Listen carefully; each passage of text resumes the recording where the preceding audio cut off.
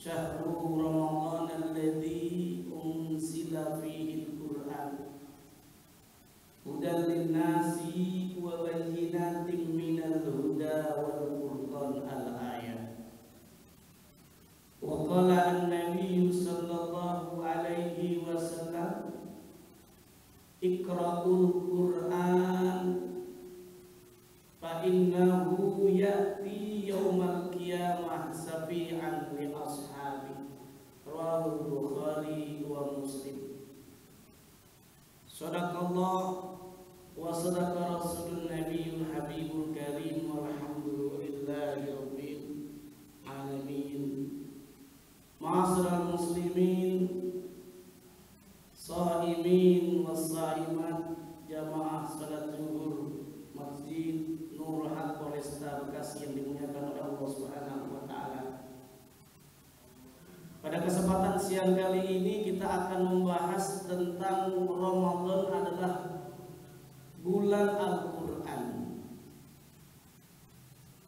Ternyata kalau kita membahas tentang Ramadan, Ramadan tidak hanya dikenal sebagai sahur siam, bulan puasa, tidak hanya dikenal sebagai sahrul qiyam yaitu bulan tarawih. Bahkan Ramadan tidak hanya dikenal dengan sahrul taubah, bulan ampunan karena orang yang puasa yang berpuasa amal soleh karena iman dan ikhlas akan diampunkan dosanya oleh Allah Subhanahu wa taala. Termasuk juga dalam bulan Ramadan dikenal bulan yang sangat luar biasa. Yaitu diturunkannya Al-Quran di bulan Ramadan. Sampai-sampai diabadikan oleh Allah di dalam surah kedua. Surah Al-Baqarah ayat 185 yang telah dibacakan awal-awal mukaddimah yaitu syahrul ramadan ladzi unzila fihi Qur'an. Pada bulan Ramadan Al-Qur'an diturunkan. Apa manfaat Al-Qur'an diturunkan di bulan Ramadan? Kenapa Al-Qur'an diturunkan untuk umat Islam? Tak lain Allah telah tegaskan hudal linnas sebagai petunjuk bagi manusia, sebagai kompas, sebagai petunjuk arah. Kalau kita naik mobil, bawa mobil belum tahu jalan, mau ke Surabaya, kira-kira tidak ada petunjuk arah sampai tidak ke Surabaya Pak. Dan kita nggak nanya, bisa nggak kira-kira? Kemungkinan sulit sekali untuk sampai ke Surabaya. Demikian halnya kalau kita sebagai nakoda ingin mengarungi lautan tapi tidak ada kompas, maka boleh jadi kita akan tersesat. Demikian halnya dengan umat Islam dalam kehidupan sehari-harinya tidak pernah berinteraksi dengan Al-Quran tidak pernah berdialog dengan Al-Quran, tidak pernah membaca Al-Quran. Al-Quran adalah kalamullah, firman Allah. Kita umumnya ingin doa kita dikabul oleh Allah Subhanahu wa taala. Tapi ingat, boleh jadi kenapa doa kita belum dikabulkan oleh Allah karena kita belum membaca kalamullah. Kalamullah adalah media belum pernah membaca kalam Allah, belum online, belum nyambung kepada Allah. Kalau kita sendiri saat kita berdoa, jiwa kita, hati kita belum nyambung kepada Allah. Bagaimana mungkin doa kita akan dikabul oleh Allah? Boleh jadi banyak doa yang kita tidak dikabulkan karena hati kita belum bersih.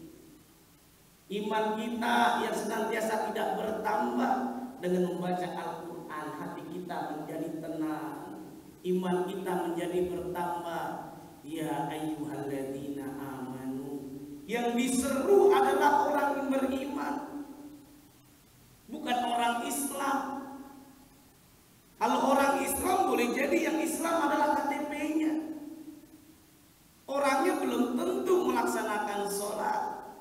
melaksanakan puasa. Boleh jadi depan teman-temannya dia berpuasa padahal tidak berpuasa.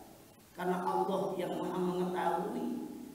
Kalau sentuhan orang yang beriman kepada Allah subhanahu wa ta'ala. Walaupun puasa itu berat.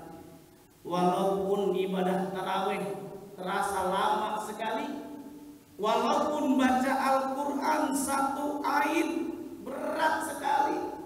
Walaupun baca Al-Quran one day, one juice sangat sulit sekali.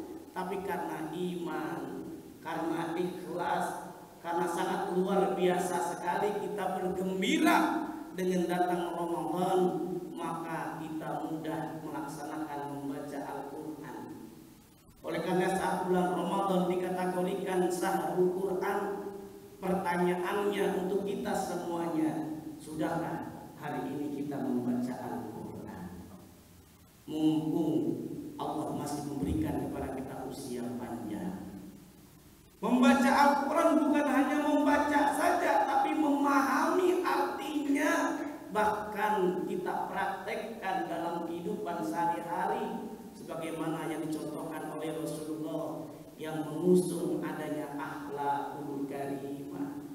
Pada suatu ketika sahabat Ka'ab bertanya, kepada Aisyah istri beliau Aisyah ini dikenal oleh beliau sebagai orang yang mukanya kemerah-merahan sehingga dipanggil oleh Nabi jujur Nabi menyatakan ya Humairah wahai yang kemerah-merahan.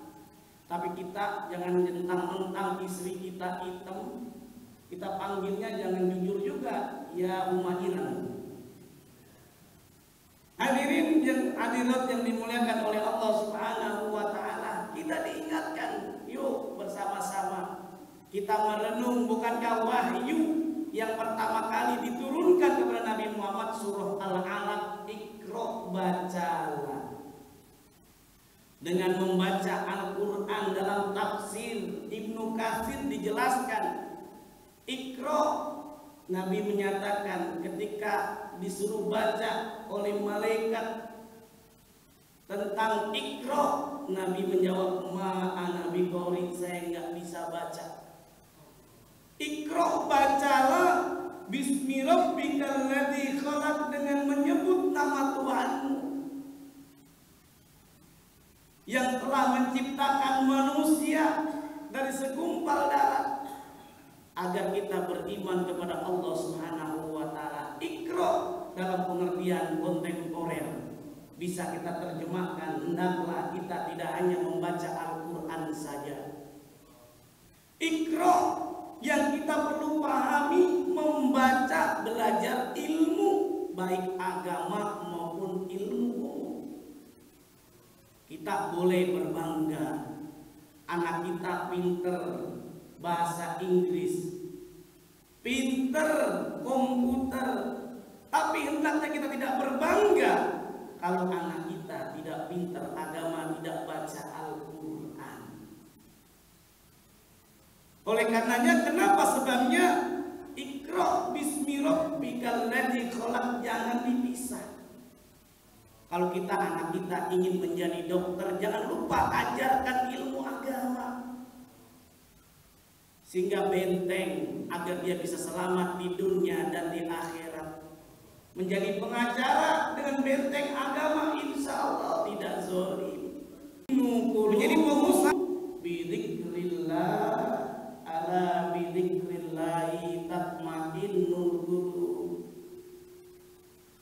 Orang yang sering membaca Al-Quran mudah dia akan tenang karena beriman kepada Allah. Karena dia lumuri lisannya dengan kalamullah. Dia lumuri lisannya dengan zikrullah. Sehingga saat dia mengendarai mobil lagi emosi, bukan semua binatang yang ada di ragunan keluar, tapi yang keluar adalah lapan astagfirullah, Allahu Akbar dan lain sebagainya. Wajar saja kalau Profesor Dr. Kuresihab menyatakan membumikan Al-Quran dalam kehidupan sehari-hari. Bukan hanya untuk dibaca saja, tapi juga dipahami artinya dan dipraktekkan dalam kehidupan kita sehari-hari. Oleh karenanya ulama kita menyatakan menjelaskan tadarus Al-Quran yang asal katanya darosa belajar, membaca, mengkaji, tadarus saling belajar. Kalau ada kesalahan saling membenarkan, menyimak simaan ada yang membaca, ada yang mendengarkan. Warattilil Qur'ana tartila dan bacalah Al-Quran dengan tartil dengan menggunakan makharijul huruf. Ustaz saya belum bisa baca Al-Quran.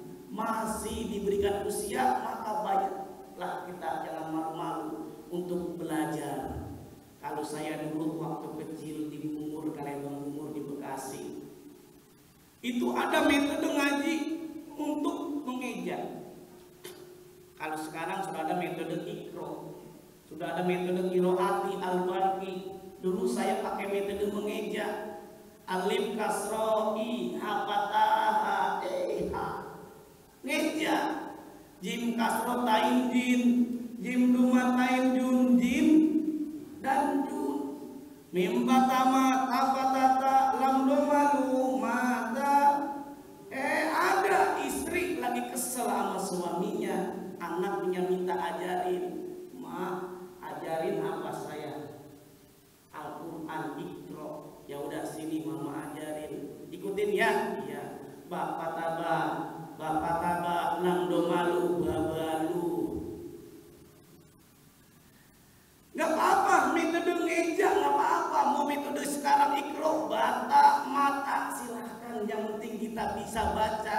manjada wajada Barang siapa yang bersungguh-sungguh pasti dapat.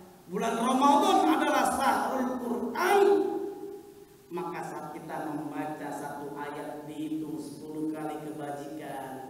Kalau kita baca surah Al-Baqarah ayat 1 Bismillahirrahmanirrahim. Alif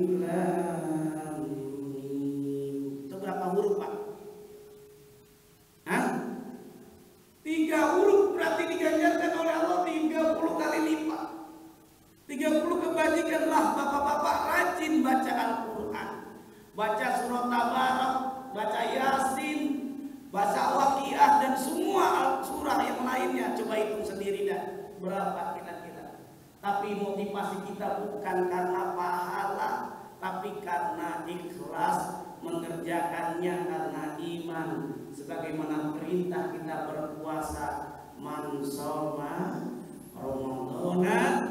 imanan wahtisaban. Ghufira lahu ma taqaddama min dambi harapannya lah beriman dan ikhlas.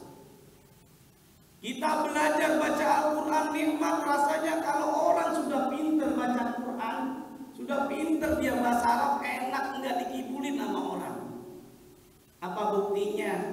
ada pasangan suami istri suaminya pintar dia baca Quran bahasa Arab.